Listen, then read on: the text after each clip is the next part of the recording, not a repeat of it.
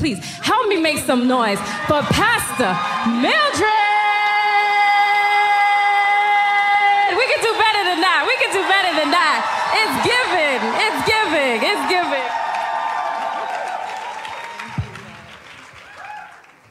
Praise God. It's very weird to have people read, talk about you when you're in the room. it's very uncomfortable. Um, it's an honor to be here. Please be seated in God's amazing presence. The presence of God is so strong in this room.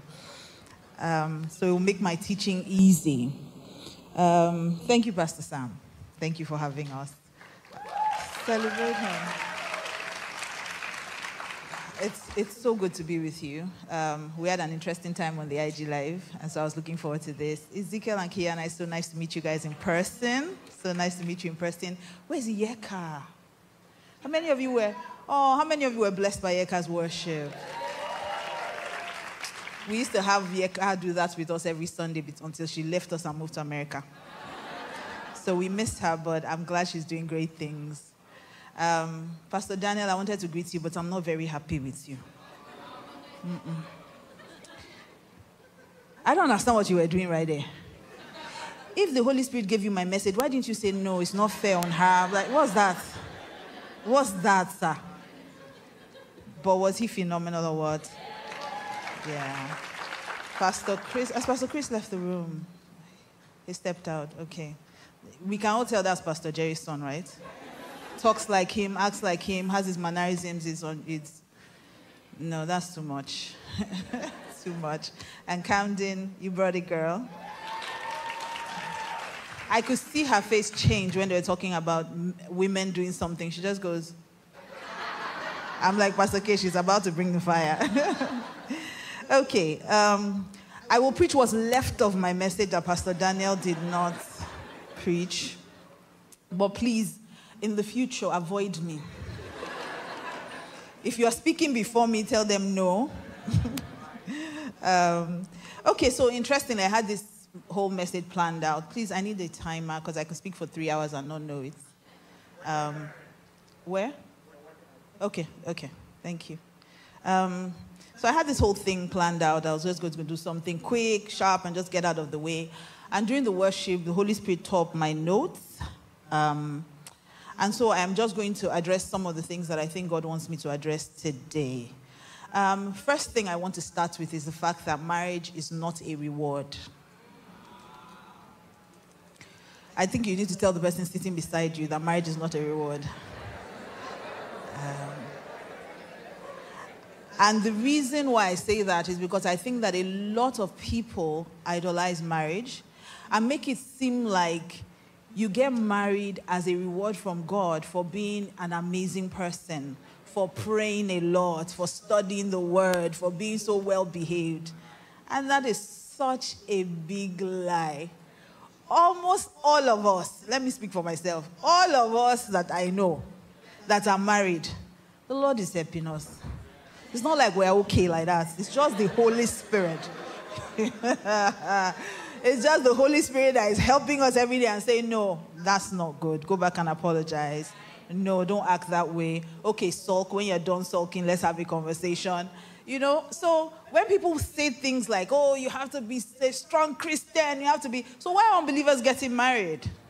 So marriage is not a reward, but marriage is an assignment, though. God wants to partner with you so that you can work with Him to help His son or His daughter fulfill destiny. So when God gives you the privilege, and it is a privilege and a gift of marriage, He's asking you to join Him to make someone else's life better. Now, I know that sometimes we make it sound like marriage is work, work, work, work, work. You know, you must follow God, you must do this, you must find out what God's plan is. And yes, that's true. But I also seriously believe that God wants you to enjoy your marriage. I don't think God wants you to endure marriage. It's something you're going to do for the rest of your life. If He's such a loving Father, then he wants you to enjoy your life. After all, Jesus came that you would have life, enjoy that life, and live that life till it is overflowing. It's, it's, an, it's, it's enjoying your life every day. That's what he came for. So if he, he wants you to be married, he wants you to be happily married. But even though I've said that, I also want to put someone at ease. There's a scripture that I stumbled on a couple of years ago, Matthew 19. I'll read from verse 11 to 12, the message translation. And someone asked Jesus about marriage. And Jesus said something. Jesus said, Not everyone is mature enough to live a married life. He said, It requires a certain aptitude and grace marriage is not for everyone. Some, from birth, seemingly never give marriage a thought. Others never get asked or accepted. So, not everyone will get married. And you know what? That's okay. I know it doesn't sound like that, but it's okay. And the truth is, the sooner you are at peace with that, the better for you. Because I find like a lot of people are frustrated chasing marriage and we forget to live life. So, whatever season you find yourself, whether you are single or married, enjoy that season. Half the time, single guys or single girls are trying so hard to get married that we're doing everything and we're missing the opportunities that being single brings. Being single is amazing. I think it's the only time you can just grab a backpack and travel without having to ask anyone or have to calculate the money or have to you know, do a budget. Imagine traveling with kids. There was a time when all my children were under five. I remember those trips were hell. So, so I would have the double strollers for the five and the three, and then have the two year old strapped in front of me. And then when they started growing, when they all knew they could run, I used to watch movies when I was younger, and I would see, forgive me, this is not me being racist or anything, please, never. But I would see white people strap their children like with those leashes. And I'll be like, how can? Africans will never do that. Let's just say I had three leashes. because my husband was not going to give up traveling, and we wanted to do it as a family. But life gets so hectic when you're married. When you're married, you divide your time into two. And then after that, every child you have, you divide it by that child as well. So Ezekiel and Kiana? but Jesus also said something. He said some decide not to get married for kingdom reasons, like Apostle Paul, for instance. But if you are capable of growing into the largeness of marriage, Jesus says, do it. So marriage will stretch you marriage will pull on your character. And I think that's one of the most amazing things about marriage because for you to be, for you to, to do marriage right, you have to first be the right person. And we see that with Adam. Adam's wife was brought from inside him. And when I read that scripture, I asked myself, as a man, for instance, and I think it starts with the men, as a man, if they were to bring your wife from inside you, would you be pleased with what God will present to you? I'll let that sink for a bit. And so when I coach single people, one of the first assignments I give them is this. When you want to get married, I want you to do a list. Take out a sheet of paper and at top of that list, write qualities I want in the person I want to marry. And then I want you to go crazy. Write anything you want. Must be rich, must be tall, must be handsome, must be spiritual, must pray in tongues 50 hours a day, even though they're only 24 in a day. Just write whatever you want on that list. And when you're done, strike off that thing and put your name on top of that list and ask yourself if you're all those things. Because it's easy to want something from someone else, but are you ready to give it? Because marriage is always about what you can give, not about what you can get. So the first thing that will help you in your marriage is to be the right person. To be the right person. The second thing is to choose the right person. You can be the right person, but if you choose the wrong person, you still have a terrible marriage. When I was growing up, um, I always had my head in a book. I was one of those nerds. So I, I, I don't ride a bike. I don't do anything outside. I don't, I don't swim. I don't, I'm, I'm embarrassed to say it. But I always had my head in a book. So when everyone was learning those things, going outside to play, I was always inside the house. And so even in the kitchen, my mom wanted me to learn how to cook, but I always had a book. So I would have a book and stare, whatever it is, shows. A lot of things got burnt anyway, by the way. So I remember the first time she was tr- trying to teach me to make an omelette. And my mom told me there's a rule to making omelets. If you're making an omelette that is more than one egg, you take two plates. You break the first, thank you.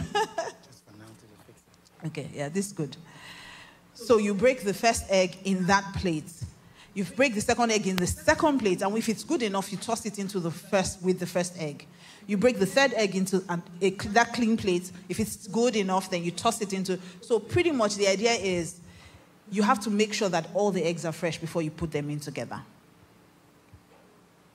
But of course, what do our parents know? So I decided to do it my way. First of all, if I use one dish, it means I only do one dish. I don't have to wash more than one. Very smart, right? So I did the first one. Second one, I mean, it was good. Third one, in the same dish. Everything was fine until I did the fourth one. It was a rotten egg. And you know what that meant? It meant a rotten omelette. So, no matter how good you are, it takes another good, godly person who understands godly principles to have a godly marriage. So, there's nothing like I can cover for this person or I can help them. I hear people say, oh, this person is an unbeliever and, and I can marry them. It's fine. I will change them. How many times have you wanted to change something about yourself that you've not been able to change? So, why do you think you can do that with someone else?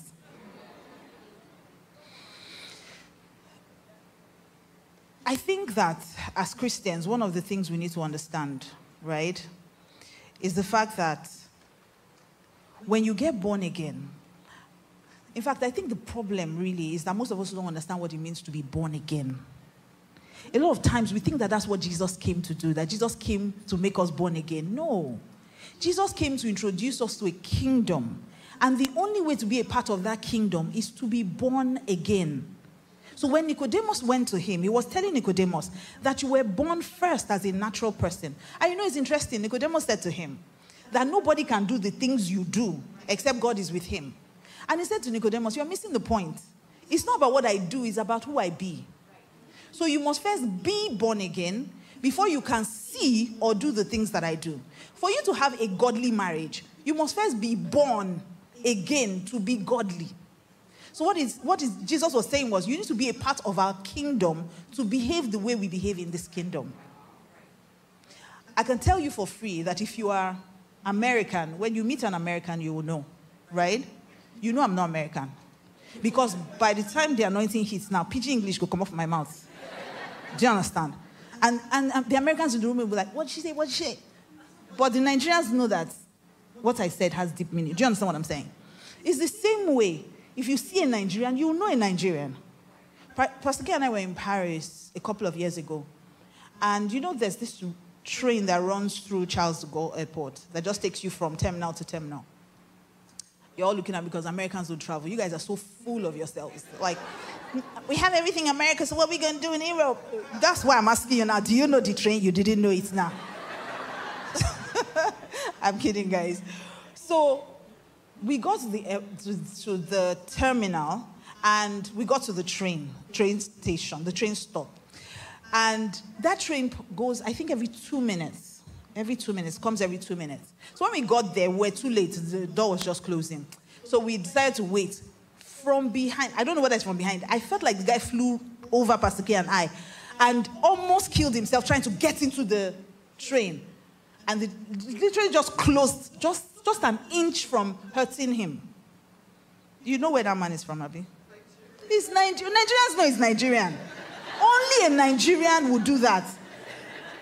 If you are driving on the road, you can't get in front of a Nigerian in Nigeria. It's not done. The Nigerian will act like if you get in front of me, the road will end. You take the road with you where I'm going. They're always in a hurry. Just two minutes.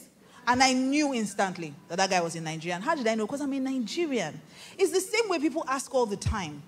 Uh, how do you know good Christian girls in church? Are you a good Christian boy? If you're a good Christian boy, you will know a good Christian girl. You know, so many guys pretend these days. Are you a pretender? If you're not pretending, you recognize who's not pretending to.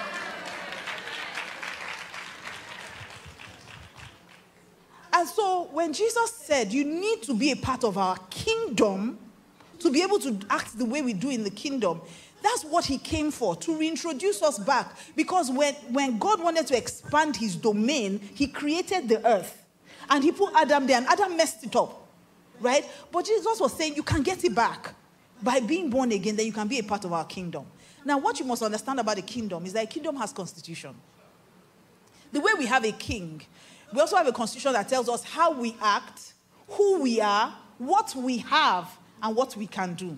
And one of the things that our constitution tells us if you are a kingdom citizen, that's if you are a citizen of the kingdom of heaven, if you are not, then please, I'm not talking to you. Just ignore everything I've said so far and anything I'm going to say after this. But if you are a citizen of the kingdom of heaven, it clearly tells us that we don't crossbreed in this kingdom.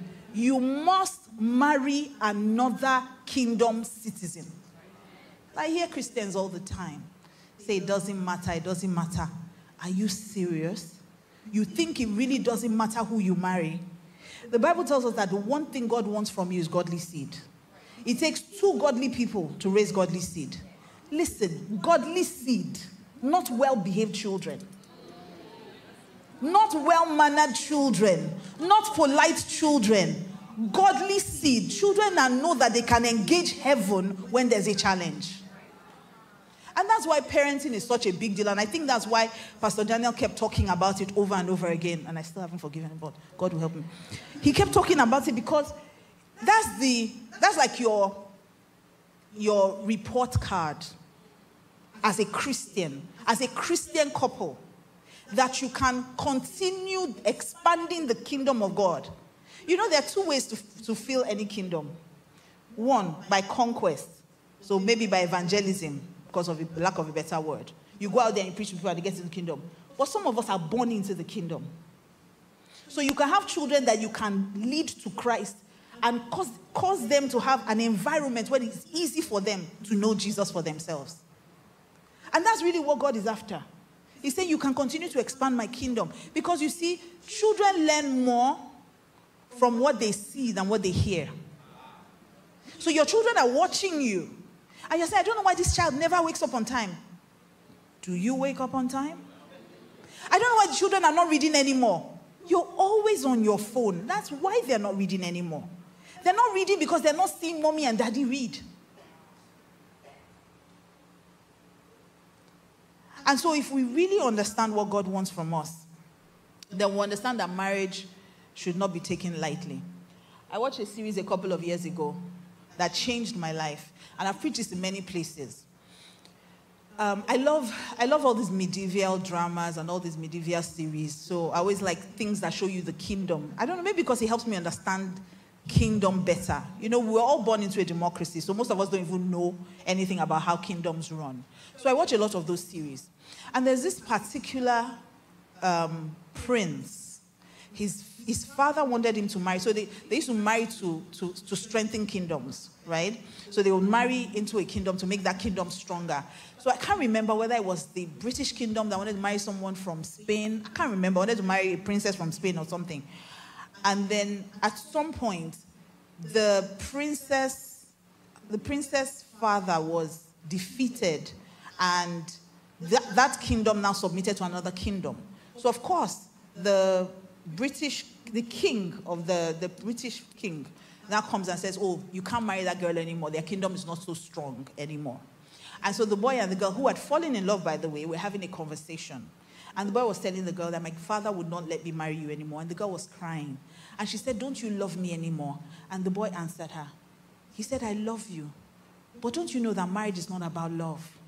It's for God, for kingdom, and for duty. My mouth was wide open. I was like, unbelievers understand. This was not a Christian series, this is normal kingdom.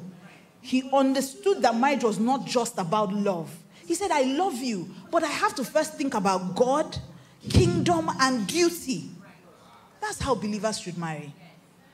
I'm not saying don't be in love, but ask yourself is this what God wants for me? Will this expand our kingdom? I know strong Christian girls who have sold their destiny on the altar of marriage simply because they want to be Mrs. someone. They will marry a Muslim, take off the glory of God, and wrap themselves with something else simply because they want to be referred as Mrs. And you have thrown away everything that God called you to do. When God calls you, it's not a joke. It's for God, for kingdom, and for duty. When I met Pastor K, interestingly, Camden asked me that question today How did you meet? I gave her a very abridged version of that story. When I met Pastor K, I was already in a relationship. I've dated the guy for five years. We were engaged to be married. I was wearing an engagement ring. We had done introduction. You Americans, you don't understand what I'm saying. We have done knocking on the door. ask, ask a Nigerian, there's a Nigerian room, just ask them, what does that mean? Because we have, if you're from the Igbo speaking part of where I come from, we have like four stages before you now get married. So they came and they knocked on, they, they done the, oh, we, we saw a flower in your, in your garden, all those weird things. and so families had come together, oh, we want to be friends so that one day we might pluck the flower in your garden, flower being me, by the way. and, and so we were on the verge of, you know, taking it to the next level to get married. But we decided that we'd take one year and he would go to the UK and do his master's. I would stay in Nigeria and do my master's. And then when we're done, he would come back home, we'll get married, and then we'll both move to the UK. Solid plan. Oh God, you guys don't even understand. It was a solid plan. And again, that meant that we would start spending British pounds, pounds sterling, pounds sterling to the naira. Do the math. So I had a plan. And then I had a medical condition where they told me I wouldn't be able to have kids. But this guy was a doctor. Solid plan. Somebody say solid plan. so a doctor in the UK spending the only currency that has a surname, by the way, and then a doctor. Solid plan. So he went to do his master's. I was back home one day. I was going into the bathroom to take a shower. I was about to go to school, and I heard the Lord say to me, I want to speak to you. Now, you must have a relationship with God. That's the only way to get it right. The only way. And so I left everything I was doing, went into my room, and I was worshiping God. And there's this song that came up on my CD player. It's very, I'm going to give you a very abridged version of this as well. And the song that was playing was Donnie McClurkin's I Will Trust You, Lord. And at the beginning of that song, it says, What if I ask you to let go of the very thing you hold so dear? And I was singing, Yes, I will trust you, Lord. I wasn't paying attention. You know those how you sing refined by fire? I wanna be tried. You're not paying attention. That's it. So there I was, not paying attention. I say, Yes, I will trust you. I was even adding to the song and everything. And then after that, I began to read the Bible because the Lord speaks to me clearly through the word. That's why I love the word so much, by the way. So I opened the scripture about the woman at the well having a conversation with Jesus. And then Jesus said to her, Go and call your husband. And she says, I have no husband. And Jesus said, You rightly said, for the man you are with is not your husband. And it was as if someone used a highlighter pen and marked out those words. The man you're with is not your husband. And I said, Holy Spirit, rough play. it's as simple as I don't know how to explain it to you in American English. Rough play means rough play. And that was how that relationship ended. Tears running down my eyes. I cried for months. I went from a size 16 to a size 12. I literally, UK size, by the way, not US size. I literally, because somebody's saying 18, 12, that's not so much. I literally disappeared. Not knowing that God was working. Somebody say God was working. And so through my tears, I told God, I will obey you, but I'm going to ask you to do one thing for me bypass my emotions and do what is best for me. I will cry, but I will obey you. It will hurt, but I will obey you. If you say this is not him, then there has to be someone. And I said something. I said, Lord, the same way you told me who it's not is the way you're going to tell me who it is. And so, not long after that, Pastor K and I became friends. and then one day, I couldn't go to my church. And I went to, by that time, he was pastoring. So I went to his church. Um, and when I got there, I was like, funny enough, I went to the church. I wasn't sure he was for real. Because when I knew him, he was a bad boy. Went to school together. And he was, we're, we're in high school together, he was already carrying a pistol in high school. Trying to kill people, he was smoking weed, all kinds of things. And then 10 years later, somebody says that guy is a pastor. So I was wondering, is this one of those scams? And I have the Spirit of God. So if I go to his church, I'll know for sure if he is a true man of God. Well, he wasn't going to be my pastor anyway, so I didn't really care, but he was my friend. So I got there and he was preaching. I was like, ah, this guy actually is a man of God. And so after the service, he walks up to me and says, Oh, you came to church today? I was like, I didn't know you saw me. And by the way, for those of you that don't know, the pastor sees all of you, no matter where you're sitting. So sitting at back doesn't really help you. So So he came to me and said, Okay, you know what? I'll take you home, but I have a pastor's meeting. So he was in his pastor's meeting, and I was, I just sat somewhere, and I just felt that same unusual presence of God. I knew God wanted to talk to me. So I just sat there thinking, This church has such a strong anointing. And then I started reading about where um, Samuel went to anoint one of Jesse's sons. And then he got there, I'm giving you a very abridged version. He got there, and then he said, is there no, because all the guys had passed before him and there was no one. He said, Is there no more? And they said, There remaineth one. He's the youngest and he's taking care of the sheep. And then when they brought him, the Holy Spirit said, Arise and anoint him for he's the one. The same thing happened again. That same highlight happened. And then the Lord asked me a question. He said, What position is Kingsley in his family? I said, He's the youngest. And he said, What do pastors do? I said, They take care of the sheep. He said, Arise, anoint him for he's the one. And so God did something now, I like the fact that you're clapping now, but Pastor K didn't look like this then. so when the Lord said to me, I said to him again, rough play. I said, God, there are things I've told you I want. I told you I don't want to marry a pastor. I told you I don't want to marry a man that is hairy. I told you I don't want to marry a man that is Igbo. And I told you I don't want to marry a man that is fair in complexion. And the Lord just packaged everything nicely into a sandwich and said, Here, take a bite. and for me at the time was a huge sacrifice. But you know what I found out? Because I decided to marry for God, for kingdom, and for duty, look what God is doing with us today.